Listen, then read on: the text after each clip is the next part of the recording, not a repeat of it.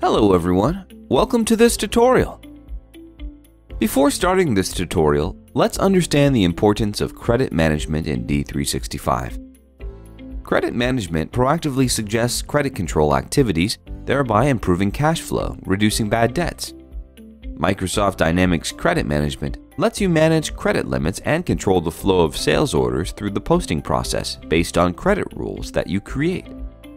The credit management process in D365 includes the following steps. First, it updates credit attributes for customers to provide additional information about their credit worthiness. Second, it creates credit limits for customers by using credit limit adjustments. Third, it creates temporary credit limits for customers by using credit limit adjustments. In this way, you can temporarily increase or decrease customer credit limits based on business requirements. Fourth, it adds information that can affect the credit limit, such as information about insurance and guarantees. Fifth, it creates customer credit groups that link customers together so that they share a single credit limit. Sixth, it assigns risk scores to customers and then uses the scores to automatically generate credit limits for those customers through credit limit adjustments. And finally, it creates blocking rules that put an order on hold during one or more posting processes based on factors such as risk, payment terms, credit limits, overdue amounts, and the percentage of the credit limit that has been used. In this module, we will learn how to set up credit limits automatically and disable the manual options and thus making our whole task more facile. So, let's begin. In order to set up the credit limits automatically, we will first navigate to the Credit and Collections, followed by Setup and credit and collections parameters, respectively. Under the Parameters tab on Credit on the left side, we will navigate or scroll to the credit limits and disable Allow Manual Editing of Credit Limits. With the disabling of this option, the user will not be allowed to add credit limits directly to customers' forms. Instead, they would be allowed to go to the Credit Limit Adjust form.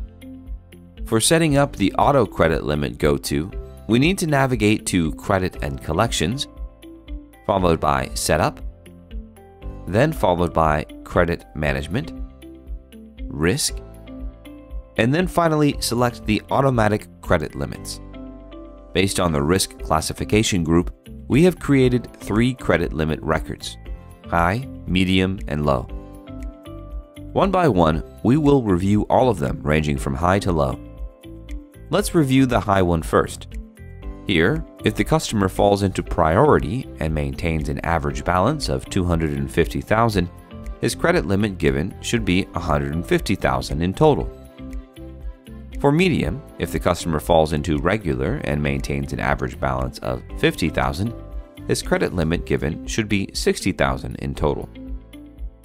For low, as we have blocked the customer, we did not give any credit limits. As we disable the manual credit limits and set them to automatic, we need to check the limits in the posting journal. Now to check the change, we will navigate to Credit and Collections, followed by Credit Limit Adjustments. We will now select a line from the above pane and click on Generate, then select Automatic Credit Limits. Now, we will assign a date for the expiry of automatic credit limits. For example, after 6 months. Unlimited credit limit should be set to no. If you want to run the job for only specified customers, then click on Records to include and select a filter, give the customer account number, and then click OK. If you want to delete the existing lines, then enable existing adjustment lines and run the job. Now, we can see that the number of records calculated and the credit limits get changed for the customers. Finally, you can go to the customer account to check new credit limits. With this, we have come to the end of this tutorial. In the next tutorial, I will help you set up risk classification in Microsoft Dashboard and work with it. Thank you for watching, and stay tuned for more.